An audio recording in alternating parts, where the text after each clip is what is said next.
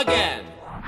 This is Musical Talk, Musical Talk. the UK's independent musical theatre podcast. Musical Talk, the UK independent musical theatre podcast. Hello, my name is Johnny Partridge, and I'm playing Zach in a chorus line at the London Palladium, and we are here in my dressing room, which is the Judy Garland suite. You get the crop of the lot here, don't you? I guess you do. I guess that's one way to phrase it. so uh, we haven't got long. So let, let's quickly talk about uh, chorus line. Tell us, you know, your involvement with the piece. Well, obviously, I play Zach in a chorus line. That is groundbreaking because you are on stage for how long of the show? I'm on stage for an hour. On stage, I'm off stage for an hour. Uh, I think I'm on stage more than any other Zach previously, uh, and I'm dancing more than any other Zach previously. Okay, so that's interesting because the, the chorus, uh, a chorus line was at the Drury Lane Theatre. You know, after, after it had a big success on on Broadway and it came to London, and because I was under the impression that not many changes have been made from that production to this one, but you probably know more. So tell us what changes have been. I think there've been quite a few changes in the sense that there've been some costume changes, some design changes in that way. Um, I don't get to wear that lovely brown jumper, which I'm really relieved about. Who wants to wear brown? I know. Um, obviously, I dance a lot more than any other Zach previously. Um, I guess because I can. Uh, although my body doesn't necessarily feel that right now. Um, I broke a toe within two days of coming on the stage. Uh, I've uh, torn my hamstring. I've uh, ripped my calf. I've done you name it. I've done it over the the last. name of show business. I'm a walking human Tubigrip right now. Um, I think some of the ages of characters may have changed. Um, uh, Mark, he's previously played by a character that I think that is over 20, whereas here he states that he's 18 years old. That was a one change. And I think there have been subtle changes choreographically um, and age changes mainly. Uh, the show is pretty much a. Uh, recreation or you know exact recreation of the original production Bennett's original. of the original production michael bennett's and of course and of bob's um uh, because Bob actually is, Bob Avian, the- yeah, the Bob, uh, yeah, uh, he actually is uh, the one number that you see at the end of the show. That's actually Bob's work. Bob actually choreographed that specific number, not Michael. So, yeah, a little bit, a little tidbit for you there. Trivia. Yeah, a little bit of trivia, a little bit And- of chorus line trivia. and, yeah. and, and what a show it is. I mean, it's so iconic, this show. And I, I was at opening night, and what a buzz, you know. I mean, the people are so excited to have this show.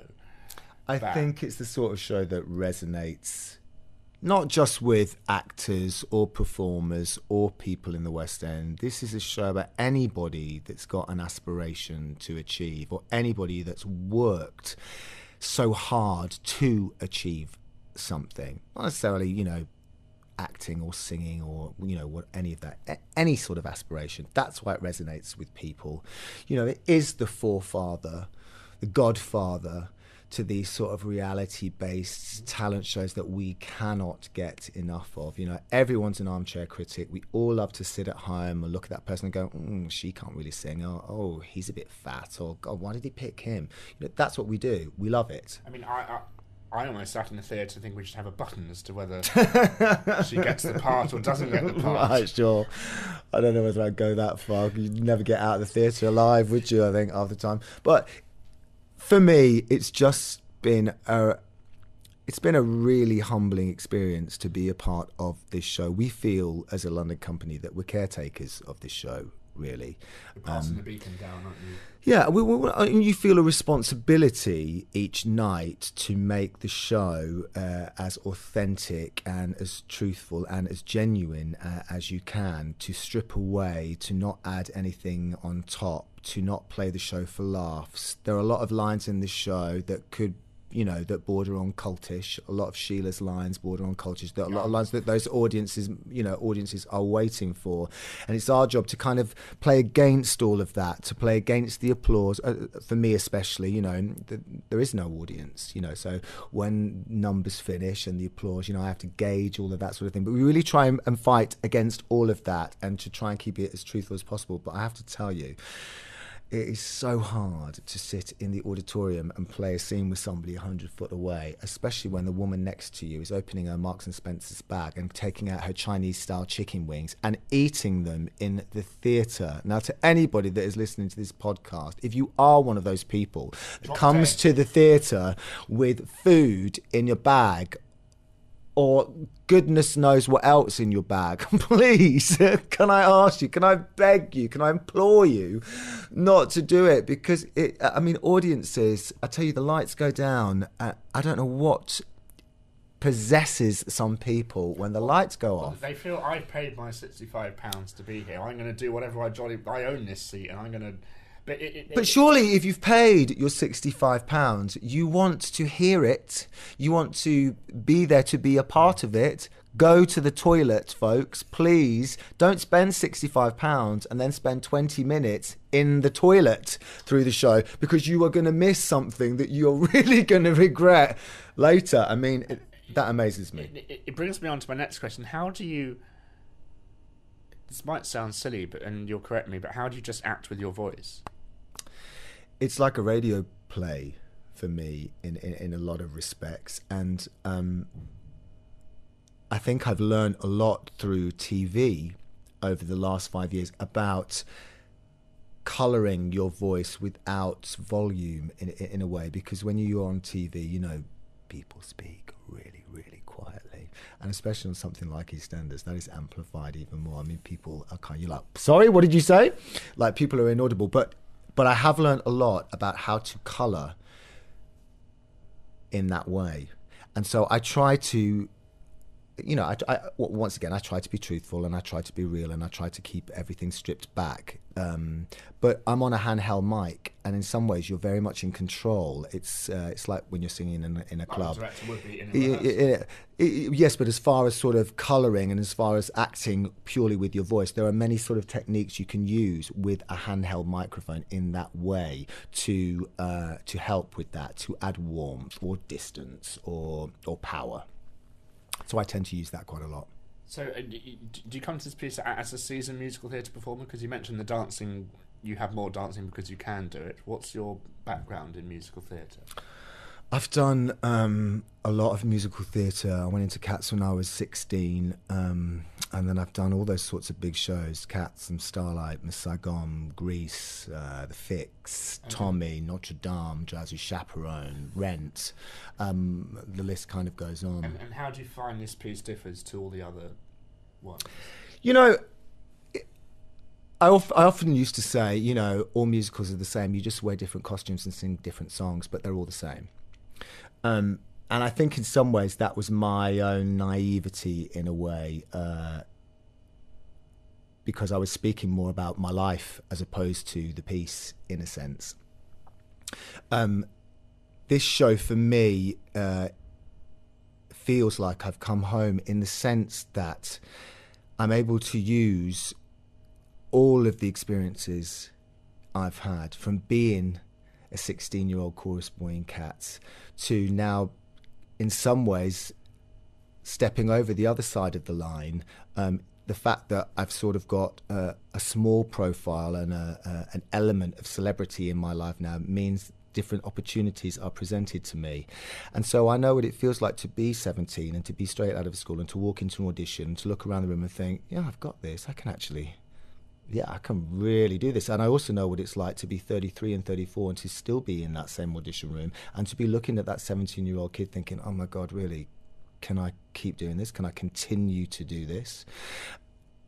And so I'm able to bring, I'm able to understand all of those viewpoints of all of those people on on the line, on my line. And, and that's what's great about the piece is not only literally do the audience see themselves on the stage because of the mirror, but they a lot of the people who come to the show they're all you know young actors and young actresses. They all know what it feels like to walk into an, to an audition room, and all the actors on stage know what it's like to have walked into an audition room. The mm. show very famously had an open casting, and they had a thousand people turn up and stand in the rain outside the London Palladium for mm. Seven hours. What was the audition process like for you? Was it different or? Yeah, it's very different because uh, that's what I was trying to say in the sense that I didn't audition in that way. Things are presented to me now, or, or I'm asked if I would like to uh, consider being, well i wouldn't say that i can you know i wouldn't say that i can completely choose my projects. I can say well you know okay i fancy doing this l- make it happen. It's not like that but i was approached about the role and bob avian and myself went out to dinner and we talked about what he wanted. I talked about what I wanted. It was a very grown up, honest conversation. Uh, I wasn't necessarily too enamored at playing this role. It wasn't necessarily something that I thought I wanted to do. Um, for lots of reasons. A, I wasn't necessarily sure that a musical was right for me at this time. B, I also wasn't sure that physically I would be able to uh, do it justice. Um, uh, I was uh, at one time in my career a very, very good dancer, and part of me wanted to be remembered like that. I wasn't sure that I'd be able to get physically fit enough to be able to do the choreography to a standard that I myself would have considered good enough, let alone putting it in front of an audience. Um, and I had no concept of the show really, other than the movie, which is a word that you do not mention to purists of uh, chorus line. So um, it it was quite quite an odd uh, it was quite an odd meeting uh, and one that was left uh, very much up in the air. We then had I was then sent a script. Uh, I read through the script and suddenly went. Oh, there's a lot more to this than I'd uh, considered. Um, then I had another meeting with Bob at his hotel, and then we went, okay, let's do it. You made the right decision, uh, and it's a wonderful show. And congratulations. I really appreciate that. It's been, you know, it, every night. It's still a real learning curve for me because I only came in on two weeks rehearsal. I only had two weeks rehearsal before the first preview. Everybody because I was doing something else, uh, and so I'm only now. Today is my five and a half weeks with the show. So uh, in my mind, by next week, that's when I figure my, I'd be ready to open. You know, so I'm still You're still playing around with the character. I'm not necessarily playing around with the character because that those in some ways they they've been the easiest bits to kind of lock down because I've worked with Bob uh, a lot on that, uh, and there isn't really with this show that much leeway for interpretation. It's very much on the page, uh, and, and it's very obvious uh, uh, as to where it should go. Um, I totally, I actually mean about having the choreography in my body, having stamina, um, listening to the music and going, oh yeah, I hear that now because everything happens. You know, for the, since we've opened, really everything's been happening at breakneck speed, and it's all been kind of a blur. But I'm able to kind of sit in it now and kind of go, ah, okay. Now I hear that little bit there. Now, I'm, so I'm starting to piece that side of it together more. Um, And it, it's such a shame Marvin Hamlisch is not around to see this production. I mean- his legend lives on at the Palladium. But listen, Terre, his wife, spoke to us all before uh, our opening night, and she spoke so movingly. She told us that Marvin knew this production was coming here before he passed away. This was information that was not known to anybody, uh, to our producers or to us. Uh, uh, but Marvin uh, did know that this show was coming here before he passed away because it was something that he really, really wanted to happen. And Terre spoke so movingly about him. Uh, we really feel like he's here. You know, we really feel that his spirit is here. Uh, uh, but it's so easy to say, isn't it? Oh, yeah, he is. But we actually feel it. We actually really do feel it. Uh, and it was so wonderful to have Terre here on our opening night and uh, Michael's brother, uh, who who sent me a lovely card and was like, "We're family now. You're you're you're my brother now." And I was like, it, it meant so much to me. It was a hugely, it was probably the most emotional opening I've ever experienced of a show, and probably will again. I mean, I mean, we were. It, it really was overwhelming in a way. member, I was certainly close to tears. It was overwhelming uh, for, for many, many reasons, and um, I'll never forget it. It really will be with me. It's a, it really will be with me for life. So the show continues at the London Palladium. So thank you very much, John, for talking to us. Listen- good, good luck tonight. Thank you so much, and enjoy the Book of Mormon. Musical Talk. So I want to talk to my friend Robert Gordon about Chorus Line, which we've both seen. It's it's uh, been revived in the West End. Is revived the right word, Robert? Uh, no, I think in a way this is a museum production because it's been redone by some of the people who were the the, the, the, the co-choreographer Bob Avian and Baayork Lee, who sort of seems to revive. Well, she played Connie in the original Broadway production. Yes, and she's been actually reviving the musical on tours ever since. I think this has been her virtually her entire career. Living off the profits. Absolutely. Um, uh, and of course, Chorus Line ran for 15 years on Broadway, so it sort of never stopped uh, until a decade ago. And it's been done, you know, toured around the States, toured around the world. So this is a sort of an extension, I think, of the touring that's been done for ages. Although it must be said, uh, it's been completely recast in in Britain uh, with some very good performers, and I think what I liked about the production was the quality of the performances. Not everybody has liked the performances, but I think they're very good, and I think uh, there are one or two people. I'm not quite sure why everybody raves about. Um, the, the singing of uh, what I did for love, uh, I, By I, Victoria Hamilton Barritt. Victoria Hamilton Barritt. The night I saw it, it, it seemed to me that she the, the song wasn't properly in her range. But that was the first night you went. Uh, I went to the first night of previews in London. Yes, yes. So I don't know. You saw it on the opening night. I don't know if the if it felt more comfortable for her the song, but it, Well, I mean, I, I, I literally want to rip my hair out every time I hear that song. But until I saw it on stage, and you have thirty people singing it, it's actually quite moving.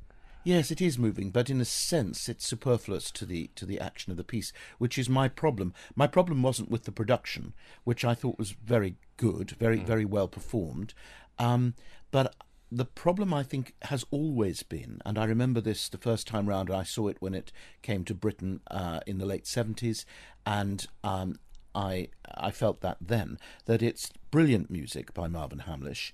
Um, it's a really weird book, which is craftsmanlike, but in my view awful, and I'll, I'll tell you why. Well, it, it, and the lyrics are okay, but uh, nothing nothing special. to me, it just seemed like a song cycle with monologues.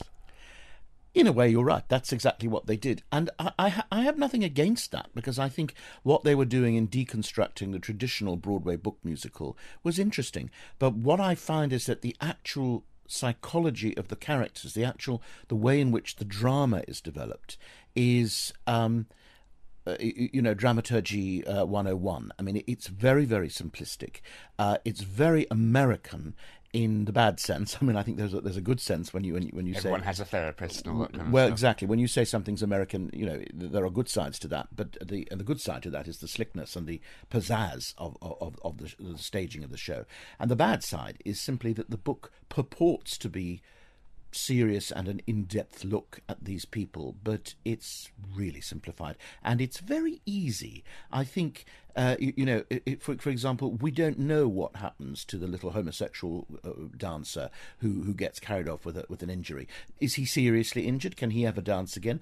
Uh, I mean, if they're really trying to show the stresses and strains of being a Broadway show dancer, they might well have used that character to show that he had an injury and was never able to dance again. But they don't go there. They they never go anywhere uh, uh, uh, dangerous, I think, because in the end, the story, although it wants to show us how difficult it is just to be a chorus dancer on Broadway, ultimately wants to celebrate chorus dancers. And Michael Bennett and the writers never make up their mind whether they're critiquing Broadway for its ruthlessness or whether they are celebrating it for its charm and, and, and vitality.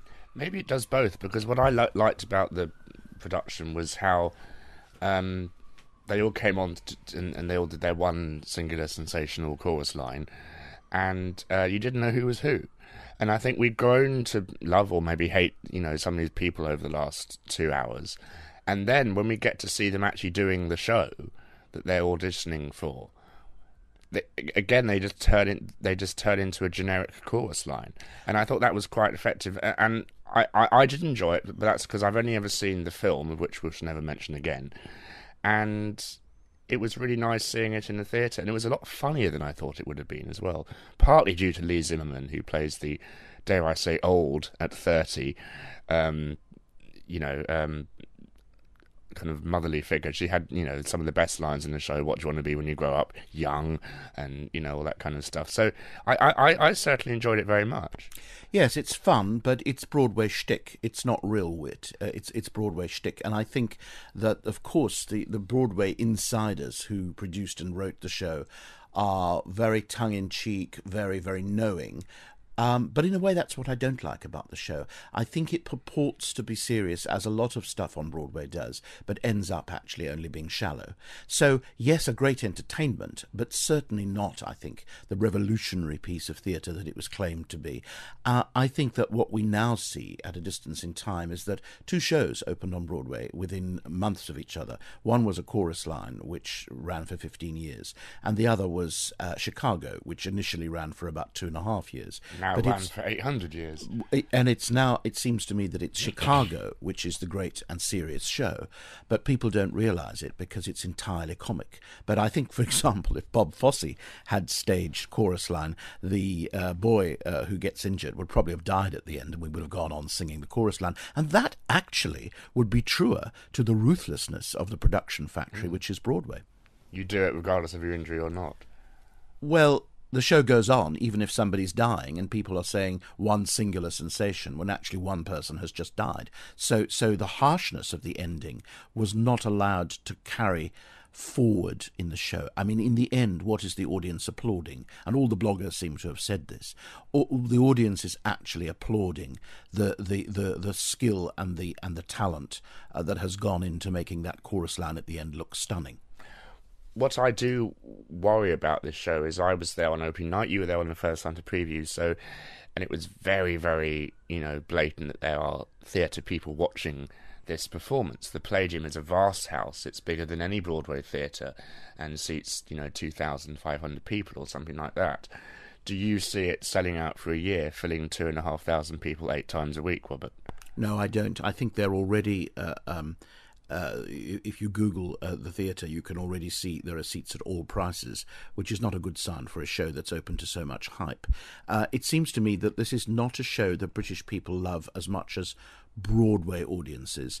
It's it's a it's mythically about Broadway. It's not about anything to do with British life or society or culture. And I think yes, of course, you're right. Uh, it appeals massively to insiders. So uh, you know, it's a it's a People show. were laughing at stuff I didn't get, and It's a show about show business. The night I saw it, which was the first preview, there must have been lots of actors and performers and theatre people in complimentary seats.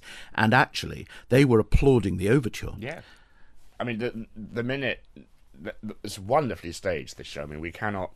We, we'll talk about that in a bit. But the but when it, the lights come up, you have well. What I loved immediately was when the lights went down, and you were in pitch black for about ten seconds, which very rarely. All the exit signs went off, and you were literally being moved to another space and and and, and another time, and then da da da dun dun dun, and they're all facing the mirror. You hear kind of a tinny piano, and then the orchestra kicks in, and then the audience went nuts. And I thought that was great. But are they applauding the fact that they finally get to see Chorus Line on stage? Because this is the first time it's ever had a big London production in many people's lifetime. Mine, for example, not yours.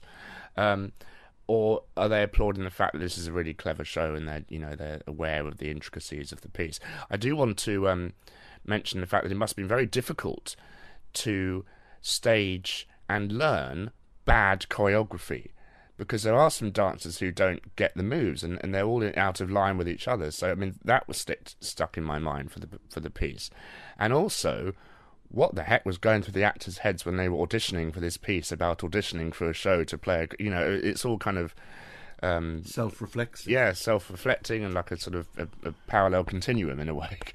Yes, I think I think in a sense that's the charm of the show for show business people, for theatre people, is that it's all about them and it's constantly reflecting about them. Um, it's narcissistic in the way that a lot of popular American culture and British culture, but particularly American culture, is today.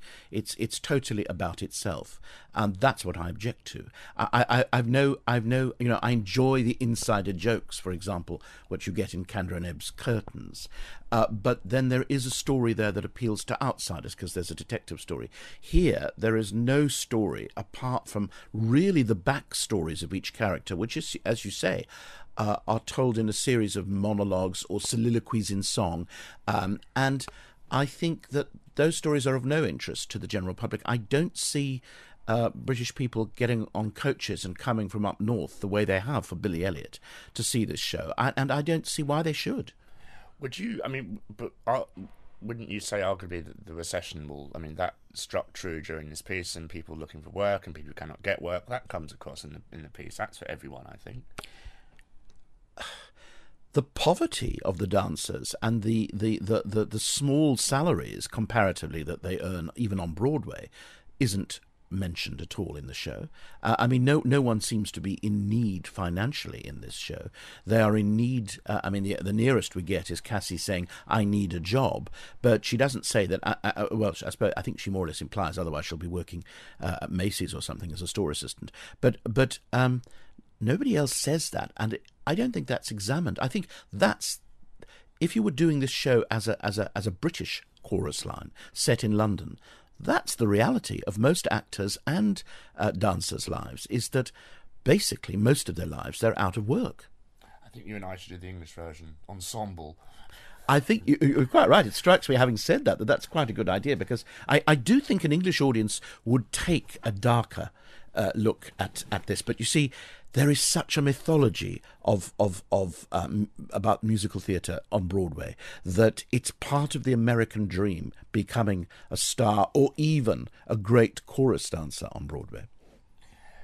I mean, the concept of the piece is you are in the theatre watching this audition process.